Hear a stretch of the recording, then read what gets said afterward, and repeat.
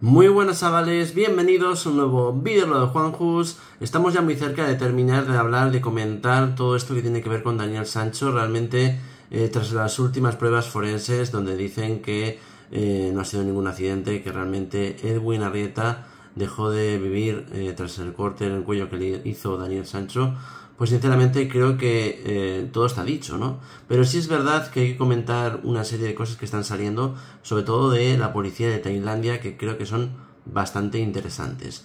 Por ejemplo, eh, acaba de decir que nunca antes había visto un corte tan limpio y meticuloso en un suceso como estos, ¿no? Como que lo hizo concienciadamente y lo hizo con mucha tranquilidad y frialdad. Es algo llamativo, es algo cruel, diría incluso, y que demuestra hasta dónde Daniel Sancho fue precisamente capaz de llegar.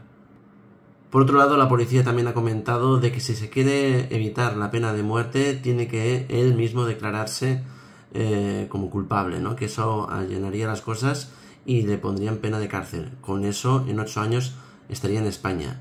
Eh, eso sí, mientras tanto estaría en una de las peores cárceles del mundo, la cuarta peor donde los derechos eh, humanos prácticamente no existen y donde están solamente condenados de sangre, que se dice pronto. ¿Vosotros qué pensáis de todo esto? Comentad, opinad, darle like al vídeo, suscribirse. Un beso enorme y chao chao.